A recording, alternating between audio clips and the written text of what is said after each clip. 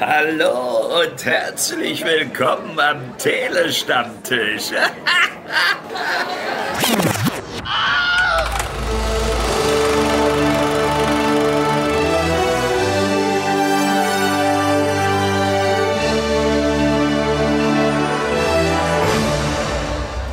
willkommen zu einer neuen Review vom Telestammtisch. Zusammen mit mir, Britt-Marie, und mit Sven. Hallo. Hallo. Ich habe gerade gezögert, weil ich habe dich hier nur aus Socke stehen. Ich dachte, die Socke kannst du nicht sagen. Nee, das nee. Äh, Sven, du bist ins tiefe Wasser geworfen worden oder ins kalte Wasser oder wie man das immer so schön sagen möchte. Denn wir sprechen heute über die Spin-off-Serie Queen Charlotte, eine Bridgerton-Story. Äh, und Bridgerton ist ja normalerweise nicht so dein Genre. Äh, nein. Aber wir haben zusammen an einem Quiz teilgenommen, wo wir ein Team, ein gemeinsames Team für Bridgerton gebildet haben. Und da bist du mehr oder minder äh, rein gezwungen worden. Und als äh, ja, stehenden Karlauer sozusagen bist du jetzt auch in die Besprechung zur Spin-off-Serie äh, reingezwungen worden. Und ich bin gespannt, was du dazu zu sagen hast, denn ich repräsentiere die, oh mein Gott, ich liebe Regency Drama und Period Piece Drama Seite. Und du repräsentierst mehr so die, naja, wenn ich muss, dann gucke ich halt Seite, oder? Ja, also sie haben es ganz geschickt gemacht, weil, also nicht gezwungen, aber man hat an meiner Ehre gekratzt und dann dachte ich, wisst ihr was? Jetzt gucke ich mal's an. ja, also wie gesagt, es geht um Queen Charlotte, A Bridgerton Story, was am 4. Mai auf Netflix angelaufen ist. Es ist, ich habe es schon gesagt, eine Spin-off-Serie zur eigentlichen Serie Bridgerton, die ja aus der Feder und dem Kopf von Shonda Rhimes stammt, die eben so Serien gemacht hat wie How to Get Away with Murder oder natürlich ganz prominent Grey's Anatomy. Und äh, sie ist auch der treibende Kopf natürlich jetzt hinter dieser Spin-off-Geschichte die, wie der Titel schon sagt, die Geschichte von Queen Charlotte erzählt, die ja eine prominente Figur auch in der Bridgerton-Serie ist. Und man war eben neugierig darauf, äh, ja, was es in dieser Geschichte von Queen Charlotte noch alles zu erforschen geht, gibt, geht und gibt. Und das ist das, worum im Grunde diese Serie jetzt auch geht. Man kann es, glaube ich, kurz zusammenfassen mit, es ist die Lebens- und Liebesgeschichte von Queen Charlotte, beziehungsweise Queen Charlotte und King George. Das Ganze hat sechs Folgen, ist also etwas kürzer, als wir das von den normalen Bridgerton-Serien kennen. Die, je, je Folge ungefähr eine Stunde, wobei das große Finale 90 Minuten hatte. Und ich muss ganz ehrlich sagen, das ist mir gar nicht aufgefallen, weil ich so in der Story drinne war, bis du gesagt hast, oh Gott, das Ding hat ja 90 Minuten am Ende. Und ich dachte so, oh Gott, der Arme. Also mir fiel es direkt naja. auf.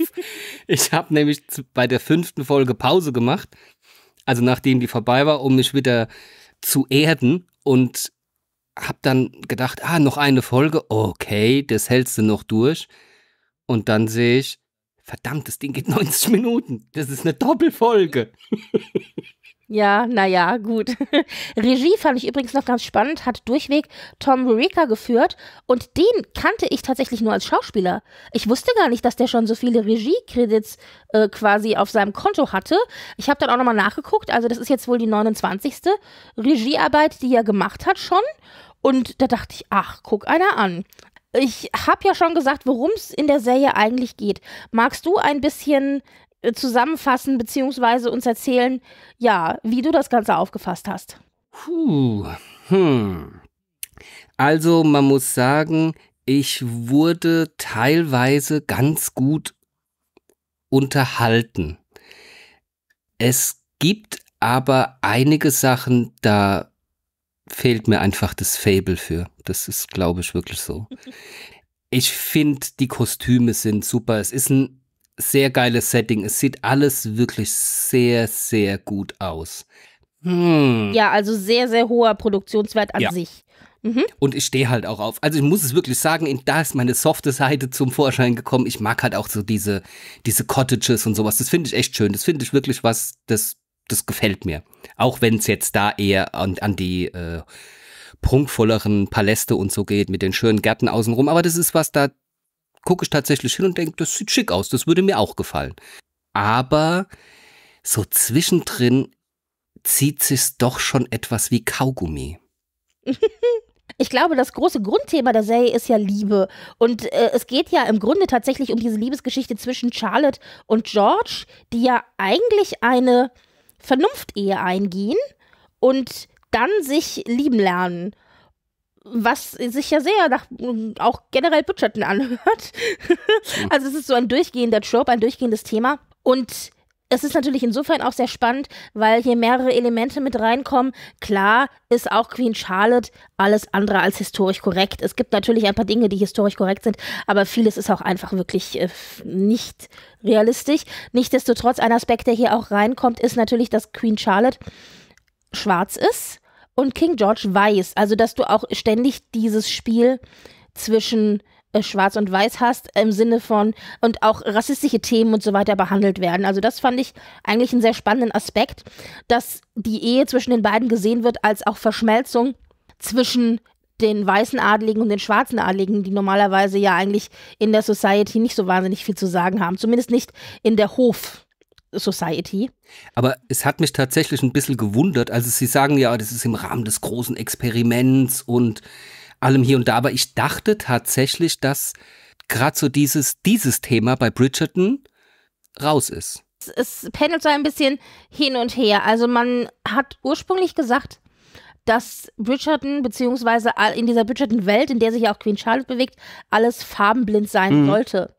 Aber gerade in Bezug auf Queen Charlotte wurde es ja explizit zu einem Thema gemacht. Und ich glaube, wenn es zu einem expliziten Thema gemacht wird, dann äh, kann man darüber reden. Und in dem Fall ist es ja so, dass Queen Charlotte ähm, das Paradebeispiel darstellt für eine schwarze, in dem Fall sogar auch noch Frau, mhm. die in einer Gesellschaft, wo man normalerweise als Schwarze und als Frau eben keine Macht hat, doch eine äh, exzeptionelle, machtvolle Position ausübt. Ja. Und deswegen ist es, glaube ich, einfach auch zu einem Thema gemacht worden. Aber es ist natürlich jetzt wirklich alles andere als realistisch. Also so richtig krass rassistisch ist es jetzt nicht, finde ich. Nein, also es sind schon so ein paar Spitzen drin. Aber was mich dann halt an der ganzen Story so ein bisschen gewundert hat, ist, dass ja Charlotte und ihr Bruder, die kommen ja aus Deutschland und da scheint man anscheinend mit Farbigen im höher gestellten Positionen ja keine Probleme zu haben. Das ist Oder eine von den historisch nicht korrekt. Doch, du hast recht, aber das ist eine von den historisch nicht korrekt Varianten. Ja, nee, ist also schon das klar. Das wird so dargestellt, das, aber das stimmt halt natürlich. Ja, nein, dass das mit der Realität das nichts zu tun hat, das ist, das ist mir schon bewusst. Aber das hat mich so ein bisschen, habe ich gedacht, okay, gut, in Deutschland ist es in Ordnung, aber hier ähm, bezeichnen die das als großes Experiment und das sind so, das ist so ein Thema, da finde ich, gehen sie mir auch zu wenig ins Detail. Mhm. Das ist so mit eins der Kriterien, wo ich gedacht habe, ihr habt wirklich sehr gute Ansätze, die das Ganze für mich auch interessanter gemacht hätten. Aber das ertränkt ihr dann in, in Getanze und und ähm, in ein, Folge 3 besteht nur aus Sex. Ich wollte nämlich gerade sagen, ich habe das mitkommentiert auf Twitter und äh, mein, mein Tweet zu Folge 3 war, ah, Folge 3 ist die Sex-Folge. Also, Wir haben drauf gewartet. Welche der Folgen wird es werden? Ich, ich war wirklich da gesessen und dachte, okay, Folge 3 kannst du eigentlich direkt streichen, weil sie eigentlich wirklich nichts hat. Also brauchst du keiner über Game of Thrones aufregen. Naja, also so äh, explizit war es jetzt nicht. Naja, bei Game of Thrones aber ist es jetzt auch nicht so mega explizit. Ja, okay, gut. Okay, ja, aber, aber trotzdem, Folge 3, Sex. ja, naja, also es ist ja so, Bridgerton spielt ja natürlich in einer fiktiven Welt, die aber lose auf äh, Großbritannien basiert, weil da natürlich so Regency Area, Jane Austen so als Stichworte natürlich äh, daran ist das Ganze angelehnt und ja, Großbritannien heißt halt auch Commonwealth. Und Commonwealth bedeutet eben auch Länder, in, in denen eben es Sklaverei gibt, in denen aber schwarze Bevölkerung eben auch die Majorität darstellt und äh, die eben dann so auch äh, nach Großbritannien gekommen sind, beziehungsweise in dem Fall deshalb natürlich auch in der Bridgerton Society äh, eine Rolle spielen und vielleicht auch eben solche ähm, solche äh, Positionen einnehmen. Ich glaube, Lady Danburys Familie kommt ja aus Sierra Leone, äh, also mhm. da auch zum Beispiel entsprechend die Anknüpfung. Äh, es ist so, ja, äh, dieser rassistische Aspekt, der behandelt wird, oder dieser Aspekt äh, zwischen Schwarz und Weiß und gesellschaftliche Kluften und soziale Unterschiede etc. etc., das spielt eine Rolle, aber es spielt halt nicht die Hauptrolle, finde ich. Sondern die Hauptrolle ist tatsächlich so diese, die Liebe. Und damit natürlich auch die Liebe, die alles überbrückt, sogar soziale Klüfte. So vielleicht kann man das, denke ich, dafür ist es, glaube ich, mit reingebracht worden. Dass einfach gezeigt wird, wie viel die reine Liebe überwinden kann. Und es klingt sehr kitschig und ja, es ist auch sehr kitschig. Es ist, äh, es ist schon so. Gleichzeitig, ja. Ist schon, also das ist, das ist halt auch was, was ich mir aufgeschrieben habe.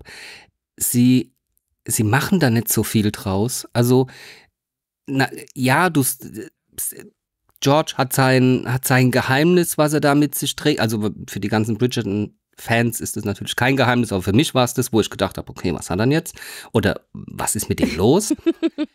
ich wollte nämlich gerade sagen, wir können hier eigentlich spoilern, weil ich vermute mal, die Leute, die diesen Cast sich anhören, die haben Bridgerton schon gesehen, weil man würde doch wahrscheinlich keine Spin-off-Serie von etwas sehen, was man nicht kennt. Und wenn man Bridgerton schon gesehen hat, dann weiß man im Grunde ja auch, wie die Story zwischen George und Charlotte in der Zukunft aussieht. Hm, okay, also er ist ja krank, aber es wird und er separiert sich ja immer wieder, um, um sie zu schützen, was ich ja auch erst dann in Folge 4 so wirklich gerafft habe. Mhm, ja, Geist, also geistig ist er irgendwie äh, krank. Genau. Also, ja. Und das ist halt, es ist halt schade, weil ich habe mir so gedacht, das wäre für mich ein spannenderer Aspekt gewesen, wenn man sagt, okay, man, man, man guckt, dass man diesen, diesen, äh, diesen Erzählstrang ein bisschen mehr intensiviert weil sie rücken immer wieder davon ab und erzählen dann immer wieder Flashbacks und hier und dann gibt's noch ein bisschen Fast Forward und das kam mir so vor wie, ja, wir haben nicht so viel zu erzählen, deswegen füllen wir das damit. Also es gab viele Sachen, wo ich mir gedacht habe, das hätte da, also in meinen Augen, das hätte da euch sparen können, sondern eher auf die Beziehung zwischen beide und wie sie das Ganze handeln, um dieses Königreich doch noch zufriedenzustellen und beisammen zu halten das hätte man mit, mit, auch noch mit ein paar mehr Intrigen und so, hätte man das Ganze vielleicht ein bisschen spannender gemacht. Dann wäre ich zwischendrin nicht so gestraft gewesen. das hört sich jetzt böse an, aber äh, mir geht zwischendrin habe ich echt gedacht, oh, bitte nicht. Ja, weil es, weil es eine klassische Liebesgeschichte halt einfach ist. Und alle Obstacle, sozusagen, alles, was ihnen in den Weg geworfen wird an Problemen, eben auch die Tatsache, dass sie zusammen ein Königreich irgendwie leiten müssen, all das wird sozusagen durch die gemeinsame Liebe zueinander überbrückt. Und wir wissen ja, und das ist ja das Tragische an der Geschichte, wir wissen ja, dass Charlotte im Grunde in der Zukunft am Ende alleine herrscht. Denn äh, George ist nirgends zu sehen und wenn er zu sehen ist, dann ist er so in sich und seiner eigenen Welt gefangen, dass er eben die Realität gar nicht mehr wahrnehmen kann. Und äh, ja, und das ist natürlich äh, das an sich ist schon tragisch, aber das eben im Hintergrund auch äh, zu dieser Liebesgeschichte ist halt enorm tragisch. Und es gibt so ein paar Themen, finde ich, die sich hier durchziehen. Ja, die Liebesgeschichte steckt im Kern, aber du hast dann immer wieder Dinge, die mir sehr, sehr gut gefallen haben. Zum Beispiel äh, die Darstellung von verschiedenen Frauentypen. Und ja, das Ganze spielt natürlich in einer fiktiven Welt und in der oberen Gesellschaft. Also wir haben hier keine realistische Darstellung von zum Beispiel dem, der, der normalen Arbeiterfrau. Aber nichtsdestotrotz werden dir verschiedene Frauentypen gezeigt und wie sie mit ihrem Schicksal umgehen und der Tatsache, dass sie eben eine Frau in, zu dieser Zeit an diesem Ort in dieser Gesellschaft sind. Da haben wir eben Charlotte, klar, die ganz klassisch eben mit ihrem Schicksal hadert und in eine Zwangsehe im Grunde äh, verkauft wird. Dann haben wir Lady Danbury und auch Lady Bridgerton, die beide hier auch nochmal eine Rolle spielen. Das fand ich sehr schön, dass die hier auch mit reingekommen sind. Das sind eben die drei, ich sag jetzt mal, großen alten Damen aus Bridgerton. und die werden äh, in äh, Charlotte natürlich jetzt, weil das Ganze ja eine Serie ist, die zeitlich vor Bridgerton spielt, zu einer Zeit, wo eben Charlotte und auch Lady Danbury und Lady Violet äh, Bridgerton jung sind. Die werden eben auch in jung dargestellt. Und es wird gezeigt, wie sie zu den Personen geworden sind, die sie eben äh, dann in Bridgerton verkörpern. Und das fand ich tatsächlich sehr, sehr spannend, muss ich dir ganz ehrlich sagen. Äh, Und es sind auch, ja. Achso, weiter, ja. ja, mach weiter, Entschuldigung. Mhm, nee, nee, Punkt, Punkt. Also die Darsteller haben mir alle gut gefallen. Es gab tatsächlich nichts, wo ich irgendwie gedacht habe, also die machen ihre Sache wirklich top. Die sind auch mit Spaß dabei, die führen auch diese an Hof äh, gebräuchlichen Tänze und äh, sonst was. Alles super. Also wirklich, wo ich gedacht habe, nee, guck mal, da ist auch wieder all, also da haben sie echt ein Gespür für, zumindest in der Serie, was ich gesehen habe. Da gab es überhaupt nichts, was mir, was mir missfallen hat. Wer mir aber am besten gefallen hat, waren tatsächlich die beiden, in Anführungsstrichen, Nebencharaktere von Brimsley und Reynolds. Ja. Die fand ich sehr, Die beiden Kammerdiener, jeweils vom König und von der Königin. Genau. Genau. Die fand ich sehr, die fand ich sehr cool. Die haben aber halt auch so, da hätten wir auch ein bisschen mehr rauskitzeln können. Aber ich weiß, ja, es geht um Liebe und so und nicht dieses Intrigendingsbums. Aber da ist, Na, die beiden haben halt in der Serie eine Beziehung tatsächlich miteinander, die sie geheim halten müssen, weil sie natürlich schwul sind. Das, äh, zu dieser Zeit ist das ja, steht es ja unter Todesstrafe, also das äh, kann man nicht öffentlich leben natürlich. Und gleichzeitig sind das beides Figuren, die alles ihrer Pflicht als Kammerdiener unterstellen. Das heißt, sie sind da, um dem König respektive der Königin zu dienen und alles andere daneben ist Hm. eigentlich unwichtig. was ist denn eigentlich, jetzt mal eine kurze Frage. Also, ich habe es mir am Ende gedacht und das fand ich auch, also das Ende ist sowieso sehr traurig, muss ich sagen. Da äh, habe ich schon, war mir schon ein kleiner Kloß im Hals. Aber was ist denn mit aus Reynolds geworden? Ist er gestorben, ne? Das weiß man, na, das weiß man nicht. Weil am Schluss, Bleibt völlig offen. weil Brimsley tanzt ja alleine am Schluss. Ich meine, Ja, das weiß man nicht. sie fragt Also ihn, die, sie fragt ihn zwar, aber ähm, ich, klar, wenn das ja damals verboten war, dann kannst du ja nicht sagen, ach, naja, gut, ich bin schwul. Aber sie hat ja auch gesagt, gab es niemanden, gibt es niemanden? Und sagt er, nein, fertig. Also, da dachte ich mir noch, okay. Man weiß es nicht. Also die Wahrscheinlichkeit, dass er tot ist, ist relativ hoch. Das ist, glaube ich, der Standard, was man so in so Serien einfach immer bekommt. Wenn eine Figur von Zeit A zu Zeit B nicht mehr da ist, dann ist sie meistens tot. Auf der anderen Seite könnte ich mir hier aber auch andere Dinge vorstellen. Also es kann ja alles Mögliche passiert sein, was weitaus tragischer wäre als der Tod. Ich denke, wenn es tatsächlich noch eine zweite Season von Queen Charlotte geben sollte, dann werden wir das vielleicht erfahren. Aber wir wissen es nicht. Das wird tatsächlich äh, offen gelassen. Übrigens wollte ich hier noch erwähnen, weil du gesagt hast, dir haben die Schauspieler so ge gefallen.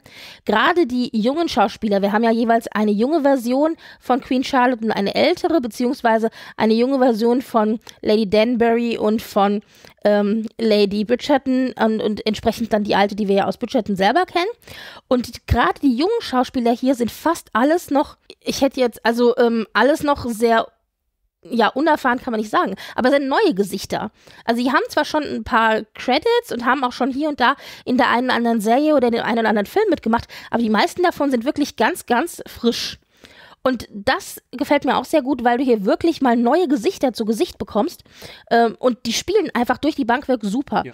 India Amatefio, die die junge Queen Charlotte spielt, liebe ich sehr die, ich finde die so großartig und die ist auch in Interviews, habe ich die auch mehrfach jetzt schon gesehen. Die ist einfach, die ist einfach nur süß. Mhm. Und äh, die Schauspielerin, die Lady Danbury in Jung spielt, Asema Thomas, ich finde, die ist für mich so wirklich ein Stand-out äh, Part. Also die ist wirklich richtig, richtig gut. Ja. Die hat mir so viel Spaß gemacht. Und wer tatsächlich, ich glaube, nur zwei Schauspielcredits bisher überhaupt in seinem Leben hat, das ist der Schauspieler, der den jungen Ki König George spielt, nämlich Curry Maitcrest, glaube ich, wird da ausgesprochen. Und der ist wirklich noch völlig, völlig neu auf den Bildschirmen da draußen. Und ich glaube, jetzt werden sich alle schlagartig ihn verlieben. Er hat ja so ein bisschen schon so diesen Heartthrob-Look. Auch wenn er jemand spielt, der geistig verwirrt ist. Aber also dafür, dass er wirklich so in, ja, so ein am Anfang seiner Karriere steht, hat er das schon wirklich sehr, sehr gut gemacht. Also ich habe ihm alles abgenommen, auch die, die Stuhlszenen und das war top. Ja, ja. Also das hat wirklich sehr viel Spaß gemacht. Ich denke, wenn man mit dem Genre Period Piece und einer äh, schönen Liebesgeschichte, ohne jetzt groß zu hinterfragen, zurechtkommt, also wenn man sowas mag, dann ist es auf jeden Fall was für ihn. Äh, für, für, dann ist es für ihn ist gut. Dann ist es auf jeden Fall was für einen. Und ich muss ja sagen, dass ich persönlich im Vergleich jetzt, wenn ich mir die zwei Staffeln Bridgerton anschaue, die es gegeben hat, und eben diese Spin-off-Serie von Queen Charlotte, sehe, dass ich im Vergleich tatsächlich Queen Charlotte stärker finde als die Bridgerton-Serie. Das habe ich jetzt schon ein paar Mal gelesen, ja. Aber das ist eine harsche These, weil alle Bridgerton-Fans so, nein! Normalerweise sollte das Spin-off ja nicht besser sein. Aber mir gefällt es tatsächlich besser. Und es liegt tatsächlich in erster Linie an den herausragenden Schauspielern, die ihre Rolle wirklich, äh, also auf den Punkt treffen. ich kann es als Vergleich nicht sehen, weil ich die, die Originalserie halt nicht gesehen habe. Aber Hm. das Schauspiel, wie ich ja auch schon gesagt habe, das ist wirklich sehr, sehr gut. Da kann man, gibt es überhaupt nichts zu meckern. Kannst du denn, äh, also nachdem du das ja jetzt gut, es gab Stellen, die waren für dich ein bisschen äh, langatmig und nicht ganz so unterhaltsam, aber würdest du denn die Serie grundsätzlich weiterempfehlen? Oh. äh, tatsächlich, ich weiß es nicht. Ich, also, wie gesagt, ich wurde stellenweise wirklich gut unterhalten, aber ich glaube da tatsächlich, äh, das mag sich jetzt böse anhören, aber ich glaube, das ist tatsächlich so ein Frauending. Wie, wie, wie John Wick ein Männerding ist. Aber, Meistens. aber, Ja. meine Frage dazu, guckst du denn zum Beispiel auch ab und zu mal Romcoms, also jetzt das Genre? Hm, ja, kommt drauf an. ja, natürlich, es gibt auch Ja, ein paar aber- Komödien. Ja, natürlich, aber ähm, äh, dieser, dieser Aufbau der, der Serie, finde ich, da liegt der Augen, ja, natürlich finde ich auch die Kostüme, also Respekt an die, an die, an die Designer und, und so weiter und so fort, alles super. Aber woran sich da andere wahrscheinlich nicht san- äh, satt sehen können und sagen, ach, ich will mehr und ah, noch- mehr Prunk und ähm, ich weiß es nicht. Ja, es ist ein Schubladendenken, das stimmt schon und ich breche da auch gerne mal aus. Aber also mir geht's jetzt nicht so, dass ich sagen würde, okay, gut, jetzt muss ich mir die anderen zwei Staffeln Bridgerton noch reinziehen. Wenn sie jetzt sagen würden, zweite Staffel Charlotte, äh, dann weiß ich nicht. Ich also reingucken würde ich tatsächlich mal, muss ich zugeben. Ja, ja, ja, okay, gut, okay. Lass mir die Schublade mal offen. Aber ob ich sie jetzt bei uns weiterempfehlen würde, ähm, ich, jein. Also, wenn mich jemand fragt und sagt, wie fandst du, sagst du, die ist nicht schlecht, aber sie hat ihre Schwächen. Ich weiß halt nicht, ob das dann halt für die Leute was ist, müssen sie selber entscheiden. Aber runtermachen tue ich sie Okay. nicht. Nein. Also ich denke, man kann vielleicht zusammenfassend wirklich sagen, wenn man sowieso ein äh, Genres wie äh, Period Pieces und Regency Drama und auch einfach eine schöne Liebesgeschichte, wenn man sowas mag, dann ist man bei Bridgerton, äh, bei der bei Queen Charlotte eine Bridgerton Story, denke ich, auf jeden Fall sehr gut aufgehoben.